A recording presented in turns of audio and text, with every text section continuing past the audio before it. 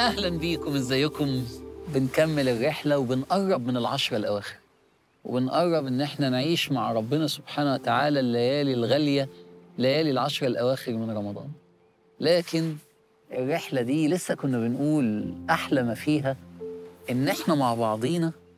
بقينا حاسين إن إحنا في أيام جميلة من القرب من ربنا. ومش واخدين بالنا إحنا بنصور ولا إحنا بنعمل إيه؟ إحنا إحنا عايشين رحلة فعلا ومبسوطين. والشباب والبنات بقوا حاسين دي أيام كده جميلة. وحتى كنا عمالين نقول إيه أكتر اسم إحنا حاسين إن دي كأنها هبه من ربنا سبحانه وتعالى. إحنا عايشين عايزين نوصل للإحسان أن تعبد الله كأنك تراه فإن لم تكن تراه فإنه يراك. حاسين بربنا قوي يا ترى يا جماعة هندخل العشر الأواخر؟ الحلم ده يتحقق. نعيش العشر الأواخر من رمضان أن تعبد الله كأنك تراه. قمة الإحساس الروحاني قمة الدين بتاعنا أعلى مراتب الدين والإيمان إنك تعيش مقام الإحسان. أن تعبد الله كأنك تراه. ما عرفش حقيقة الإسلام من لم يتذوق الإحسان. أبدا. ولا عرف حلاوة الدين من لم يفهم معنى الإحسان أن تعبد الله كأنك تراه. اتحرم من جمال الإيمان وروح الدين إنك تعيش هذا المعنى معنى الإحسان. هنعيشه النهارده من خلال اسم من أسماء الله الحسنى. اسم النهارده اسم الله الجبار. دايما الناس بتسمع اسم الله الجبار فيخاف ويحس إن الاسم و... لكن أنت لو فهمت الاسم أنت ممكن تحطه على الموبايل بتاعك إنك دايما حاطه على الجبار الذي يجبر عباده المكسورين. الجبار الذي يجبر قلوب المنكسرين. الجبار للمظلومين للي فقدوا الأحباب للي الدنيا كسرته للي الهموم وجعته للي حد قهره في الدنيا للي فقد إنسان غالي عليه أب أو أم أو ابن أو حبيب. الجبار الذي يجبر قلوب العباد. إيه ده؟ ده أنا كنت فاكرة إن الاسم اسم أنا كنت بخاف. ده قمة الحنان. هو اسم الجبار جاي من كلمة إيه؟ في اللغة العربية. كلمة الجبيرة. مش أنت لما بتتكسر إيدك بيحطوا لك جبيرة؟ علشان تعمل إيه الجبيرة؟ تجبر الكسر. الجبار الذي يجبر المنكسرين. فإذا كان الأطباء بيجبروا ما كسر من الأبدان فالله سبحانه وتعالى هو الذي يجبر ما كسر من قلوب العباد. الله. ده اسم حلو قوي ال- الناس العوام وأهل الشام يقولوا والمصريين جبر الخواطر على الله. يعني إيه جبر الخواطر؟ إنك تجبر بخاطري. أقول لكم حاجة حلوة قوي مره في وقت من حياتي مريت بتجربة صعبة قوي في الحياة. أيام كانت قاسية عليا قوي وشاء ربنا وقتها إن أنا أكون في العمره ومن كتر من قسوة ال- ال- ال- الظرف اللي أنا كنت فيه أنا مش قادر أدعي بأي حاجة. فكنت أطوف. ما بقولش غير كلمة واحدة بس. كنت ببكي. يا جبار اجبر بخاطري. يا جبار اجبر بخاطري. يا جبار اجبر بخاطري. تسألني كنت بتقول كام شوط وبتطوف قد إيه؟ كتير مش فاكر. لأني ما كنتش شايف حاجة الدنيا كلها مش شايف فيها حاجة غير يا جبار أجبر بخاطري والله جبر بخاطري وكرمني وعوضني والتأم قلبي وجمع شملي على على أهلي. يا سلام الجبار تروح له وأنت منكسر لازم يجبر بخاطرك والنبي يقول لك ما عبد الله بأفضل من جبر الخواطر. يعني إيه؟ عايز ترضي ربنا قوي أجبر خواطر الناس. اصله هو يحب كده. طب إذا كان هو يحب كده بقى هو يعمل معاك إيه؟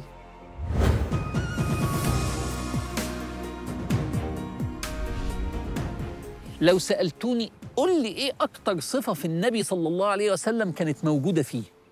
أكتر خلق يحبه النبي صلى الله عليه وسلم جبر الخواطر. ده هو نص معاملات النبي جبر خواطر. لما تحلل كده هات لي كل مواقف النبي اللي موجودة في السيرة واقرأ المواقف شوية. هو النبي بيعمل إيه؟ بيجبر بخواطر الناس. ليه؟ أصل دي أكتر حاجة ربنا بيحبها. طب يبقى لما دي أكتر حاجة ربنا بيحبها يبقى أنا لما أتكسر وأروح للجبار يعمل معايا إيه؟ فهمت الفكرة؟ كل ما تتكسر روحي له عيطي له يا سلام لو بكيت بين ايديه أجبر بخاطري يا جبار أجبر بخاطري. أما يكرمك كرم. أو تروح تشكي له تقول له أنا تعبان. لازم يجبر بخاطرك. شوفوا النبي صلى الله عليه وسلم النبي رايح الطائف علشان يدعو أهل الطائف للإسلام. لأن مكة خلاص رفضت النبي صلى الله عليه وسلم. وصل النبي للطائف. الطائف قد إيه؟ 100 كيلو. راحهم إزاي على رجليه؟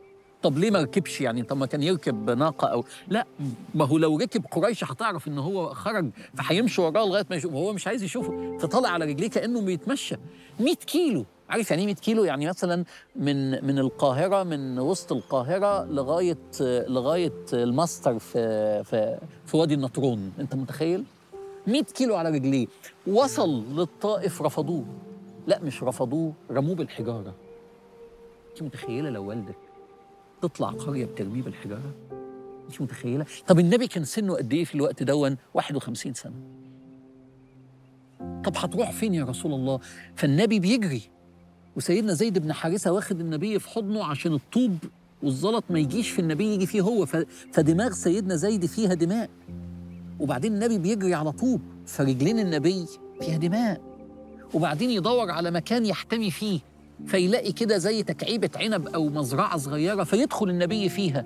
طب لما يدخل فيها أول حاجة يعمل إيه؟ قبل ما يعمل أي حاجة قبل ما يداوي جراحه رفع إيديه. روح بسرعة للجبار يجبر بخاطرك فراح بسرعة للنبي صلى الله عليه وسلم يقول له إيه؟ شوف الكلام. وغمض عينيك كده وكأنك شايف النبي في المنظر ده وهو بيدعي. والدماء في قدميه. وجنبه سيدنا زيد بن حارثة بينهج ودماء في رأسه. والنبي بيدعي اللهم إني أشكو إليك ضعف قوتي وقلة حيلتي وهواني على الناس. أنت رب العالمين أنت رب المستضعفين وأنت ربي إلى من تكلني. إن لم يكن بك علي غضب فلا أبالي. حاسس بالنبي؟ كأنك شايفه؟ كأنك قاعد قدامه شايف الحالة دي؟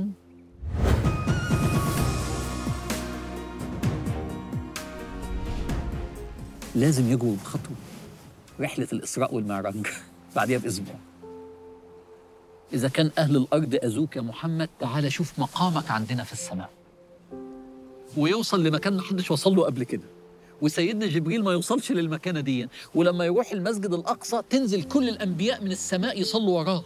هو إمام المرسلين كلهم. وراه سيدنا نوح. وراه سيدنا إبراهيم جده. وراه سيدنا إسماعيل جده. وأهو سيدنا موسى أهو. وسيدنا عيسى واقف أهو.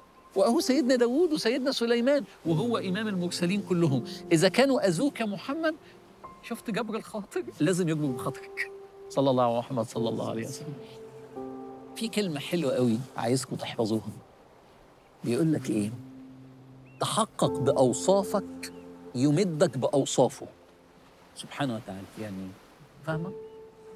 مش فاهمة قولي الحقيقة فاهمين؟ تحقق بأوصافه بأوصافك يمدك بأوصافه أنت أوصافك إيه؟ عبد فقير ضعيف وهو أوصافه إيه؟ مالك الملك القوي العظيم روحي له بصفاتك يمدك بصفاته روح له بضعفك يمدك بقوته روح له بعجزك يمدك بحوله وقوته روح له بفقرك يمدك بغناه. روح له بذلك يمدك بعزه. روح له وقول له يا غني من للفقير إلا أنت؟ يمدك بعطائه. قل له يا قوي من للضعيف إلا أنت؟ يمدك بقوته. قل له يا عظيم. من للضعيف العاجز إلا أنت؟ يمدك بحوله وقوته. تحقق بأوصافك يمدك بأوصافه جرب. جرب لما تتكسر وتبقى حزين ومتألم روح للجبار. وقول له يا جبار أجبر بخاطري. يحن عليك على طول. لأنه حنين ولأنه بيحب جبر الخواطر ولأنه أمر بجبر الخواطر فأول من يفعلها هو سبحانه وتعالى معاك. أما اسمك حلو بشكل. مش بقول لك تكتبه على الموبايل بتاعك بعد ما كنت بتخاف منه مالكش أي علاقة بيه.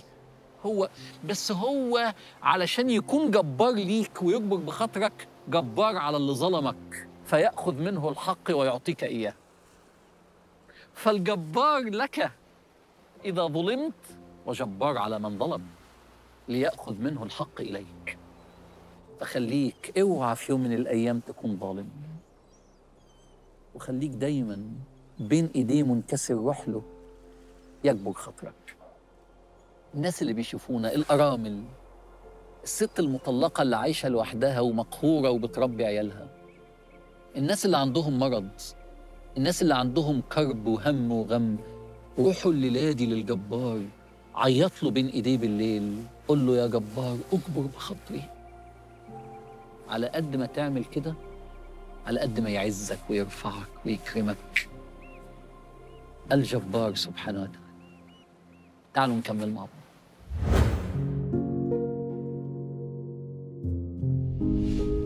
هو دكتور عمرو أنا أكيد عارفاه من وأنا صغيرة ومامتي كانت بتشغل دايما إقرأ. فمن وأنا صغيرة عارفة إن هو figure مهم في في الإسلام. فدايما كان كان بالنسبة لي آه، بحس إن هو كلامه يعني مش aggressive يعني مش aggressive في كلامه. دايما بحس براحة لما بسمعه كده يعني مش حاسة إن هو آه، صعب في كلامه. أنا بيعجبني كمان بحس إن هو مثقف يعني مش آه، مش بيتكلم في الدين بس هو بيدخل كل حاجة في بعضه فبيخليك تفكر آه، في حاجات تانية وتريليت حاجات آه، حاجات ببعض. مكنتش ببقى واخدة بالي منها. صعب إن أنا أختار اسم واحد. هما كلهم كل الأسامي بصراحة آه، قوية وبتريليت معايا بطريقة معينة. بس لو أختار واحد ممكن القابض الباسط. ده كان أكتر واحد ما كنتش عارفاه بصراحة قبل ما أجي. آه، هو أكتر واحد آه، حاسة حاسة بيه يعني حاسة إن هو فعلا ربنا لما بيمنع عنك حاجة بيديك قصادها حاجة تانية. دايما ربنا آه، آه، لو في حاجة في حياتك آه، وحشة بيعوضك بحاجة تانية. لو عندك أي حاجة مثلا لو ربنا آه، لو عندي مثلا مرض بلاقي دايما ربنا بيعوضني بحاجة تانية.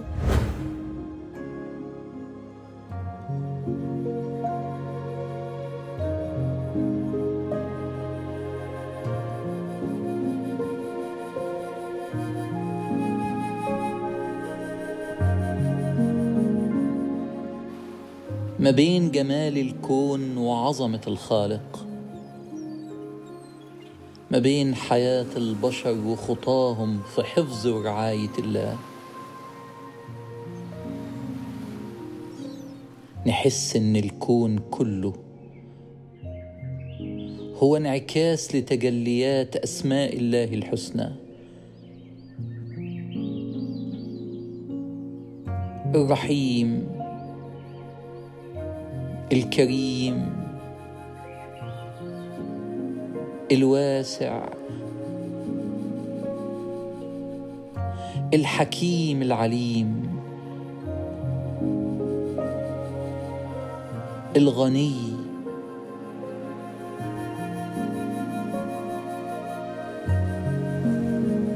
القادر المهيمن. بديع السماوات والأرض.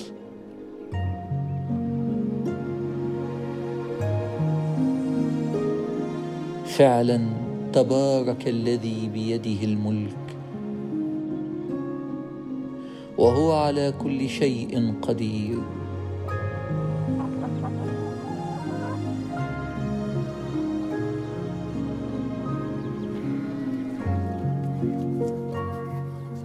روح لربنا. عابد ذاكر خاشع. روح له بضعفك يمدك بقوته.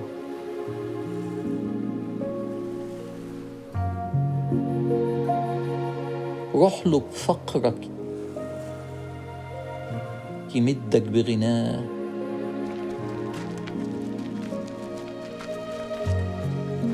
روح له بذلك يمدك بعزه.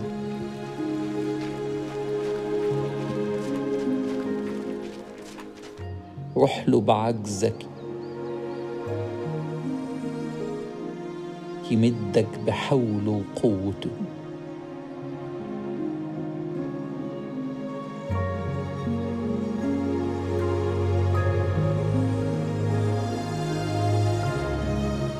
أخرج من حولك وقوتك إلى حول الله وقوته.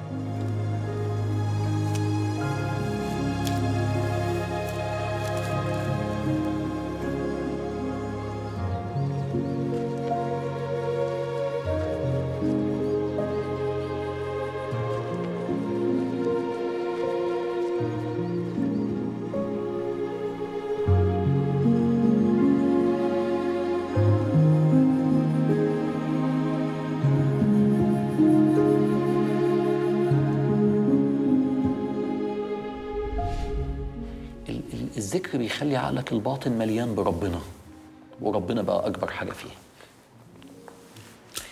يلا نذكر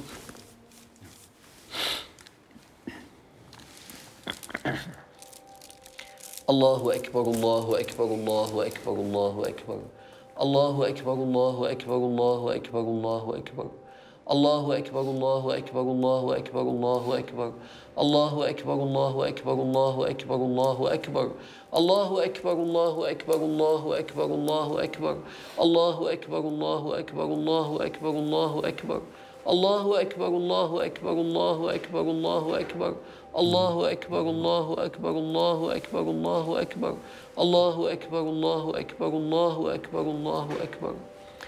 حسبنا الله ونعم الوكيل. حسبنا الله ونعم الوكيل. حسبنا الله ونعم الوكيل.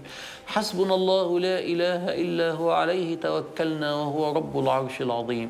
حسبنا الله لا إله إلا هو. عليه توكلنا وهو رب العرش العظيم. حسبنا الله لا إله إلا هو. عليه توكلنا وهو رب العرش العظيم. حسبنا الله لا إله إلا هو. عليه توكلنا وهو رب العرش العظيم. حسبنا الله لا إلا هو عليه توكلنا وهو رب العرش العظيم. حسبنا الله لا إله إلا هو عليه توكلنا وهو رب العرش العظيم. حسبنا الله لا إله إلا هو عليه توكلنا وهو رب العرش العظيم. حسبنا الله لا إله إلا هو عليه توكلنا وهو رب العرش العظيم. حسبنا الله لا إله إلا هو عليه توكلنا وهو رب العرش العظيم. حسبنا الله لا إله إلا هو عليه توكلنا وهو رب العرش العظيم. حسبنا الله لا إله إلا هو عليه توكلنا وهو رب العرش العظيم. حسبنا الله لا إله إلا هو عليه توكلنا وهو رب العرش العظيم. حسبنا الله لا إله إلا هو عليه توكلنا وهو رب العرش العظيم. حسبنا الله لا إله